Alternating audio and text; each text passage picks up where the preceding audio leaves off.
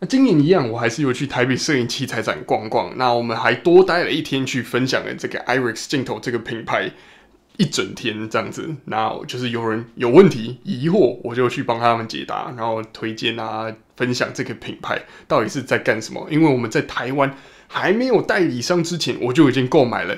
IRIX 镜头了，那我们现在用的十一 mm，还有我们身后的这个一百五十 mm，我们天天都在用，真的是还不错的镜头。影像品质没话说啊，价格也真的是非常非常便宜。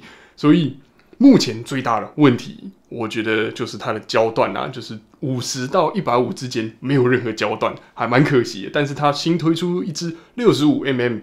不知道什么时候会上市，但是它已经有推出了。那我们现场有一支 prototype，我们就在那里开心玩，就是诶拿起来，然后实拍，然后真的是还不错啊。反正就我觉得在现场这样子跟大家交流还蛮有趣的。